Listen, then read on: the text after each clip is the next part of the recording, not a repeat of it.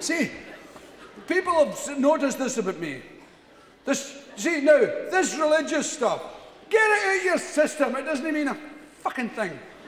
It's all piss and wind. It's all designed to frighten you. There's people believe in angels. There's people believe there's people flying in the sky telling God that you're masturbating. They need professional fucking help. Right.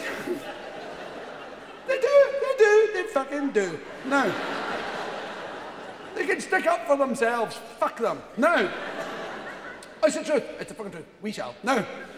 Yes, Father, I think I shall today. Oh, fuck but not confessional. No. People, no, do you see? Because religion's under strain just now because of the nipping about they've been doing.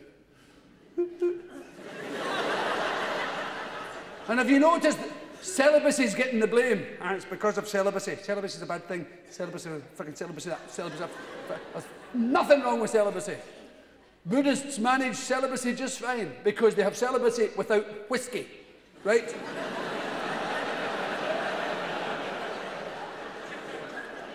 I never met a priest in my life who didn't like a large one. Which, now, you know as well as I do how attractive people get once you've got a few large ones down here.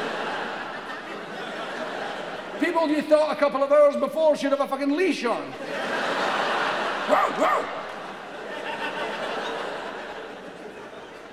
That's what's happened. Although, I would like to personally thank the Catholic Church for the rhythm method of contraception which my father used diligently, without which I wouldn't be fucking here at all. now there's a celibate idea, if ever I heard one, the rhythm method. My father used to have a metronome on the sideboard. Tick, tock, rickety tick. That's the stuff. Here we go. Mouth organ under the pillow. My mother on the tambourine. Go for it, Bill. The Protestants up the close. There's them Catholics shouting again. Keep the noise down, you Fenian bastard. I said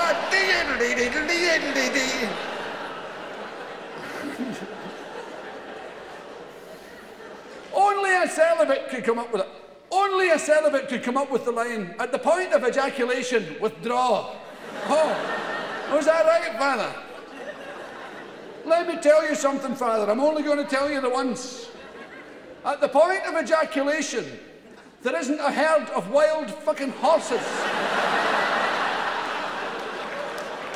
could make my arse go in that direction. Now,